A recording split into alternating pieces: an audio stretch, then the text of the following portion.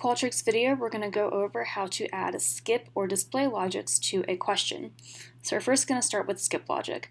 So skip logics are used in a survey when you want a respondent or respondents to skip either a question, a section of questions, or even the entire survey, depending on how they answer specific questions.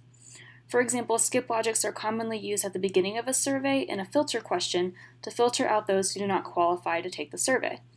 So in this example, we're going to shift gears a little bit and we're going to pretend that we are making a survey about cable TV viewing habits. So a skip logic question can be used to ensure that those taking the survey actually have a cable subscription. So we're going to write the question. Do you currently have a cable subscription? And we're going to make our choices yes or no.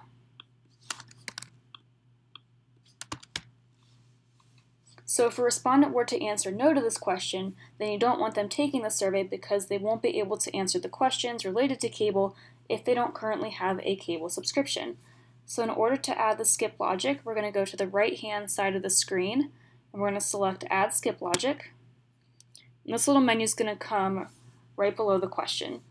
So for a condition, we are going to select no. And what this is basically doing is telling Qualtrics what to do if a certain answer to this question is selected. So in this case, we're telling Qualtrics that if the condition no is answered, so if someone answers no to this question, then we want that respondent to skip to the end of the survey. So you select your condition here, we want to say is selected, and we want them to skip to the end of the survey, but if you wanted them to skip somewhere else, you could select that here. But in this case, we're going to have them skip to the end of the survey. Once you've entered the logic, go ahead and select Done and it's going to display right below the question. If you need to make any edits to the logic, you can go to Options and Edit Skip Logic. And here you can make any changes necessary to the logic in the question. So another type of logic that is used in surveys is display logic. And display logics are used if you want to ask follow-up questions based on how someone answered a different question in the survey. So in sticking with our TV theme, let's say we wanted to ask what types of services people use to watch video content. So I'm going to create a new question, and we're going to ask which service do you use to watch video content? And we'll make our answers cable TV, Netflix, and Hulu. And for the sake of this video and this example, we're just going to keep this a single answer multiple choice question. So now let's say we wanted to know what someone's favorite show on Netflix was. However, we only want people who use Netflix to watch video content to answer this question. So I'm going to go ahead and create a new text entry question. And we're going to ask, what is your favorite Netflix show? So this is where we're going to add a display logic. So to create a display logic, again, you're going to go to the right-hand side of the screen, and we're going to select Add Display Logic. But when you're adding a display logic, you want to add the logic to the question that will be displayed depending on the answer. So like I said, in this case, we want question 25, what is your favorite Netflix show, to be displayed if someone answered Netflix to question 24. So we're going to go ahead and select Add Display Logic, and the menu is going to pop up on the screen.